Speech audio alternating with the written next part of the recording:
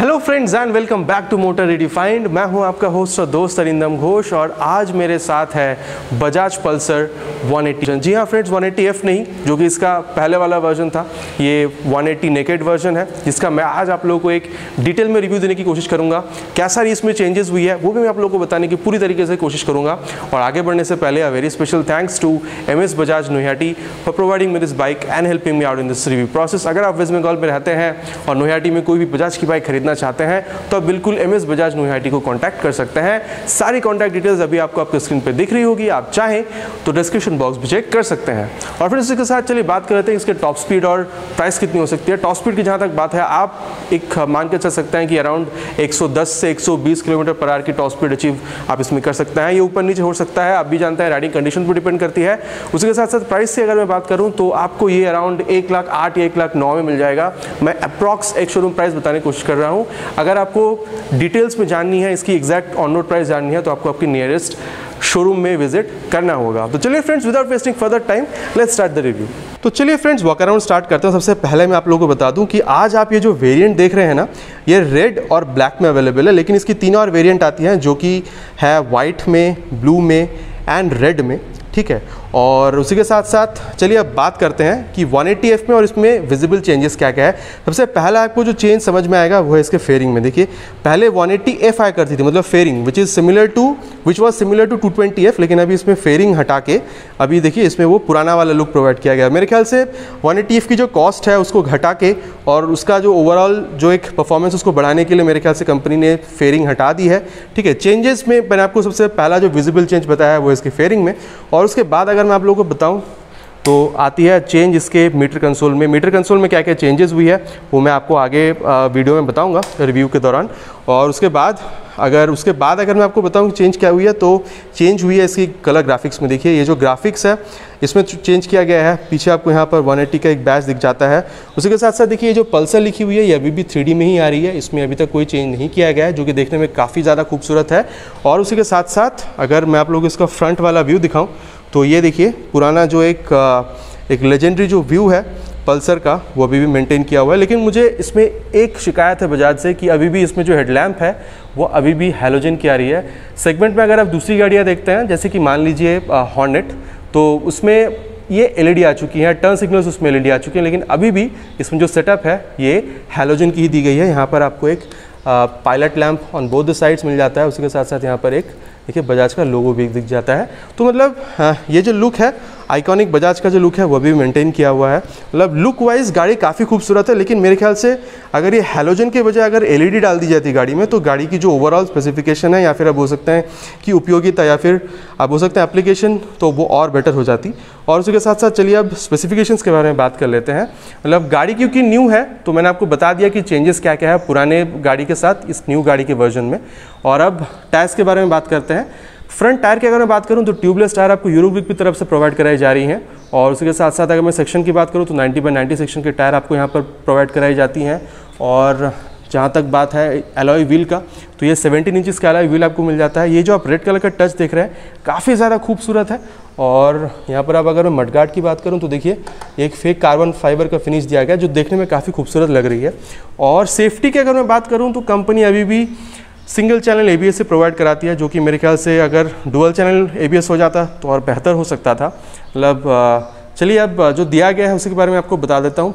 Single channel ABS से सामने में आपको ये ए बी करिंग दिख रहा है, और अगर मैं ये डिस्क की बात करूँ तो वो टू एट एम की है। यहाँ पर आपको ये कैलिपर दिख जाता है और उसी के साथ साथ अगर मैं ऊपर यहाँ पर दिखाऊँ आपको तो सस्पेंशन आपको दिख रहा है। सस्पेंशन फ्रंट टेलीस्कोपिक सस्पेंशन आपको मिल जाता है विद एंटी फ्रिक्शन बुश और उसी के साथ साथ अगर मैं यहाँ पर इंजन की बात करूँ तो आपको पल्सर 180 में जो इंजन मिलता है बजाज पल्सर 180 में जो आपको इंजन मिलता है, वो है 178.6 CC four stroke S twin valve air cool D T S engine जी फ्रेंड इसमें देखिए, आपको एयर कूल्ड इंजन मिलता है। मेरे ख्याल से एटलीस्ट अगर लिक्विड कूल्ड मिल जाता तो इसकी स्पेसिफिकेशंस और बेहतर हो सकती थी।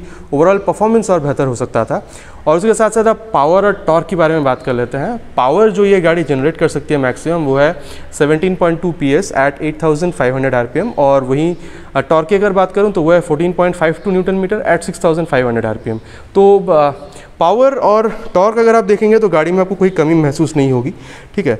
और उसी के साथ साथ अगर मैं आप लोगों को आ, इसका जो एग्जॉस्ट दिखाऊँ तो मतलब देखिए इंजन से जो एग्जॉस्ट का जो पूरा कनेक्शन है पूरा ब्लैकआउट कर दिया गया है। इंजन का जो कलर है ब्लैकआउट कर दिया गया है। उसके साथ साथ ये आप जो एग्जॉस्ट देख रहे हैं ये एग्जॉस्ट का कलर भी पूरी तरीके से एक मैट ब्लैक में दिया गया है। आप ये जो एग्जॉस्ट गार्ड देख रहे हैं वो भी मैट ब्लैक में ही दिया गया है। और उसके साथ साथ आप यहाँ पर ये पिलियन फुटरेस्ट देख रहे हैं, ये राइडर फुटरेस्ट और यहाँ पर ये आप ब्रेक पेडल देख पा रहे हैं, ब्रेक लीवर। उसके साथ साथ ये वाला पोर्शन में आप देखिए, काफ़ी ज़्यादा खूबसूरत लग रही है देखने में। एक कार्बन फाइबर का फिनिश दिया जा रहा है फेक कार्बन फाइबर का फिनिश, जो देखने में काफ़ी खूबसूरत है।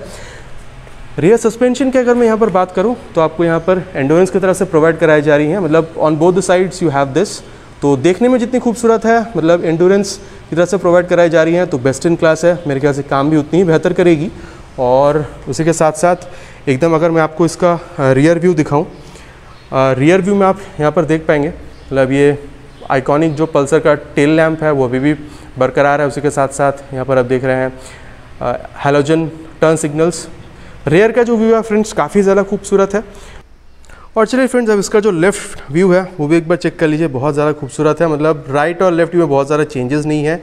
और सबसे पहले मैं आपको बता दूँ कि ये जो पीछे के आप टायर देख पा रहे हैं 120 ट्वेंटी बाई एटी सेक्शन के टायर दिए गए ट्यूबलेस टायर है ऑफकोर्स और उसके साथ साथ अगर आप ये जो अलॉय व्हील देख पा रहे हैं, ये भी सेवेंटीन इंचज़ की दी गई है। देखिए, ये जो रेड कलर का स्टिकरिंग है मतलब इसकी जो खूबसूरती और निखार रही है, जैसे सामने प्रोवाइड कराई गई थी पीछे की जो टायर है, उसमें भी प्रोवाइड कराई जा रही है। और जहाँ तक इसमें अब मैं बात करूँ ब्रेकिंग सिस्टम का तो ब्रेकिंग में यहाँ पर सामने में आपको एबीएस मिलता है और पीछे में आपको मिल जाता है आर एल मतलब rear wheel lift off protection जो कि इंस्टेड ऑफ़ ए यहाँ पर यूज़ किया गया है। और अगर मैं डिस्क की बात करूँ, आप लोग यहाँ पर ये जो डिस्क देख पा रहे हैं, वो टू थर्टी mm की डिस्क इसमें दी गई है। और अब मैं आप लोगों को इसका जो एग्जॉस्ट नोट है, वो एक बार सुनाना चाहूँगा।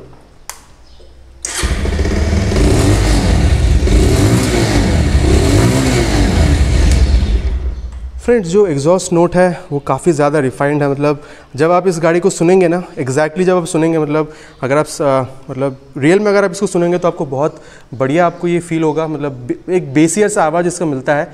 और उसके साथ साथ अगर मैं यहाँ पर सस्पेंशन की बात करूँ तो जो राइट में आपको मिलता है सेम इंडोरेंस की तरफ़ से यहाँ पर सस्पेंशन भी प्रोवाइड कराई जा रही है।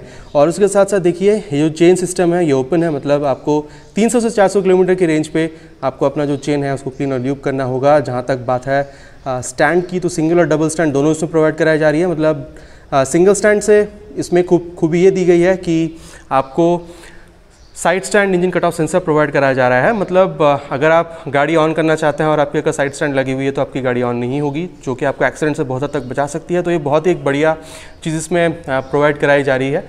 और उसके साथ साथ अगर मैं सीट और टैंक की बात करूँ तो पहले सीट की बात करते हैं। सीट का जो कंपाउंड है इज़ ऑन मीडियम साइड मतलब is comfortable for both the pillion and the rider मतलब वन एट्टी सी सेगमेंट की गाड़ी है तो मेरे ख्याल से आप इसके साथ बिल्कुल लॉन्ग टूर्स प्लान कर रहे होंगे। अगर आप इस सीट के साथ लॉन्ग टूर्स पर जाना चाहें तो जहाँ तक मैं समझ पा रहा हूँ बिल्कुल जा सकते हैं। सीट हाइट की जहाँ तक बात है, मेरे ख्याल से अराउंड सेवन नाइन्टी एम तक की सीट हाइट है।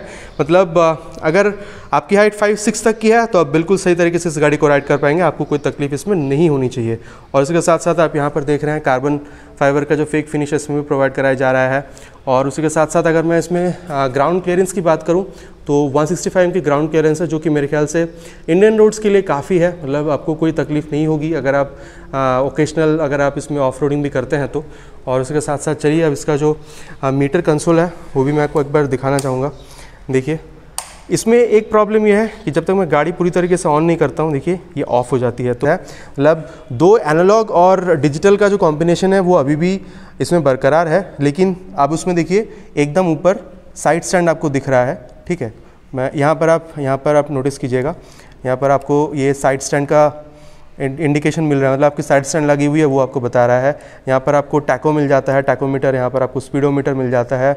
और उसके साथ साथ आप यहाँ पर देखिए एवरेज फ्यूल कंजम्पशन कितना है, आप कितना आगे जा पाएँगे with the fuel that you have in your fuel tank वो भी आपको बता दिया जाता है।